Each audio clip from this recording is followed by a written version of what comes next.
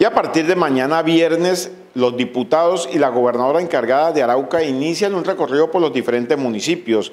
Mañana viernes estarán en el municipio de Tame, donde realizarán una inspección a todas las obras que adelanta el gobierno departamental. Los diputados del departamento de Arauca y la gobernadora encargada realizarán una inspección a las diferentes obras en el municipio de Tame. Allí también se escuchará a la comunidad tameña. Bueno, en el día de mañana, eh, junto con el gobierno departamental, en cabeza de la gobernadora encargada, la doctora Indira Barrios, vamos a estar en el municipio de Tame. Vamos a revisar unos temas de algunas obras, el estado de cómo avanzan esas obras.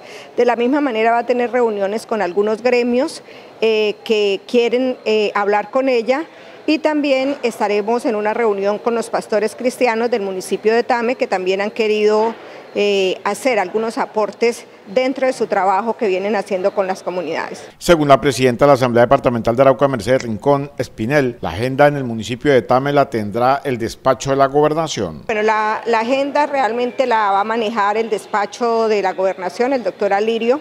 Eh, ellos son los que deciden qué comunidades van a atender y nosotros vamos a hacer el acompañamiento como Asamblea Departamental para revisar que esos acuerdos que se hagan con las diferentes comunidades se cumplan. La líder política hizo una invitación a los demás diputados para que hagan acompañamiento y se inspeccionen las diferentes obras en la cuna de la libertad. Bueno, yo espero que los 11 diputados acompañemos este tipo de visitas que hemos solicitado no solo al municipio de Tame, sino ojalá lo podamos hacer a los otros municipios restantes, donde sin duda la comunidad eh, debe ser, debemos ser la dirigencia la que vaya a las comunidades y no las comunidades que se desplacen a nuestro municipio. La Asamblea Departamental de Arauca lo que busca es que la gobernadora encargada inicie los recorridos por los diferentes municipios del departamento.